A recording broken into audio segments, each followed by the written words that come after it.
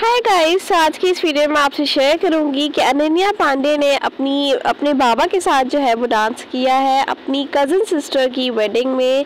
आप देख सकते हैं कि चंकी पांडे जो है वो डांस करते हुए नज़र आ रहे हैं अपनी बेटी के साथ। अनन्या पांडे जो है वो चंकी पांडे की बेटी हैं और क्योंकि अनन्या की जो है वो कज़न की शादी थी अलन्ना की तो उन्होंने सोचा कि क्यों ना फैमिली डांस तो बनता ही है भाई।